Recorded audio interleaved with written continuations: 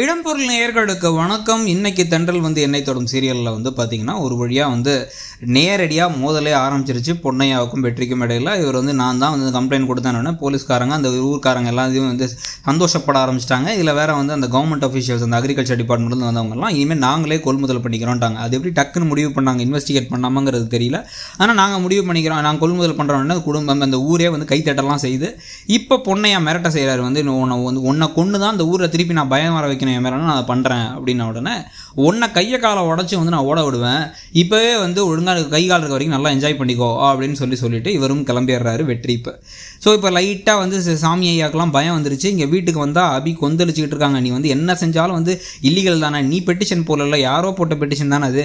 இதில் வந்து ரவுடிங்களை வேற வந்து எதிர்த்து நிற்கிற இதெல்லாம் தேவையில்லாத வேறேன்னு பேசிகிட்டு இருக்கும்போதே ஊர்க்காரங்க வந்து இனிமேல் எங்களுக்கு எல்லாமே நல்லதாகவே நடக்கும். கடனால வந்து என் ஒய்ஃபை பார்த்துக்க முடியல என் குழந்தைய படிக்க வைக்க முடியலன்னு ஏகப்பட்ட பிரச்சனை இருந்துச்சு.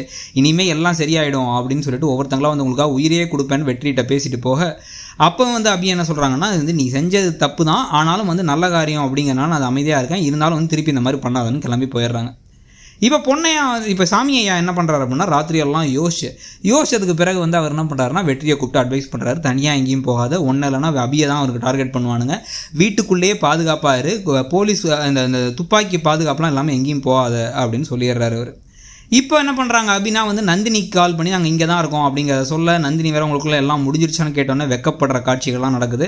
ஒரே ரொமான்ஸ் தான். இப்போ வந்து பார்த்தீங்க அப்படின்னா வந்து வெற்றி அபிக்கு வந்து மல்லிகை பாயிண்ட் வந்திருக்காராம். அந்த பூ வச்சு விட்டு அப்படியே ஒரே காதலாக பேச என்ன கா லவ் படம் ஏதாவது பார்த்தியா? என்ன தான் நினச்சிட்டு இருக்க? இவ்வளோ லவ்வோட பேசுகிறேன்னா எனக்கு முன்னாடி இருந்தே வந்து இருந்துச்சு இப்போ தான் வெளில வருதுன்னு வெற்றி சொல்லிட்டு இருக்காரு. இன்னொரு பக்கம் அபி வந்து எனக்கு நீ தானே எனக்கு முன்னாடி இருந்தே தோணிக்கிட்டே இருந்துச்சு. இப்போ அது சரியாயிடுச்சு அப்படின்னு ஒரே காதலோட ரொமான்ஸோட வந்து இந்த போர்ஷன் இன்னைக்கு முடியுது. ஸோ ஆனால் ஒரு பெரிய பிரச்சனை அடுத்து வரப்போகுது. இன்னைக்கு எபிசோடை பற்றி நீங்கள் என்ன நினச்சிங்கிறத சொல்லுங்கள் இடம்பொருள்